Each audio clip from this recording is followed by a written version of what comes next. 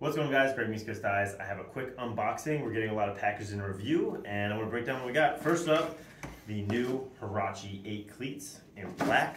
Then we got also the review, we're doing our new season cleat reviews. Uh, the new Freeze in mid and the new Freeze in lows. I wear the Freeze right now, so looking forward to trying these.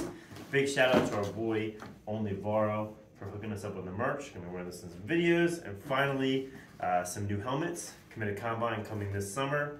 Big shout out to the Virginia program for sending us one of their burns for the wall. And then we got the Loyola Matte Black XRS. Also, the new Relax Co head to review with no front of the throat. So thanks for watching.